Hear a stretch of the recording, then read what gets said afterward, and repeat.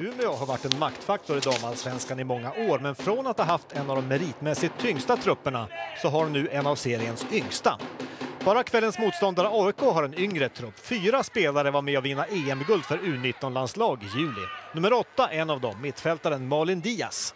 Alltså det har varit tufft. Vi visste om det från början, liksom, att vi skulle vara i botten och slåss om att säkra ett allsvenskt kontrakt. Och, så vi har ju, vi har ju liksom aldrig blivit utklassade, så det känns skönt att vi ändå alltså vi ligger där. Och vi känns som vi kan ta poäng av alla lag. AIK i vitt inte utspelat här heller, men hade inte många besök i Umeås straffområde. Här en hörna i inledningen av matchen. Umeå i svart hade mycket av bollen och några få farligheter. Nick och Lina Hurtig och här Emma Berglund på returen. Umeås Jenny Jorman, nummer 11, stoppas av AIKs Maja Sari som får gult kort. Vid frisparken, Tuija Hyrnen.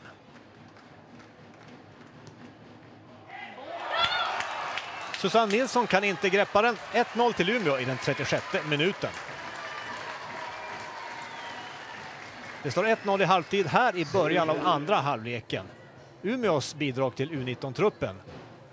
Lina Hurtig. 2-0 till Umeå, två minuter in i andra halvlek.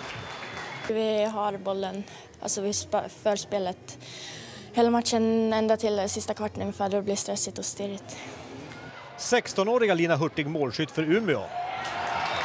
Liksom inbytta Emma Åberg Singmark 3-0 i den 83 minuten.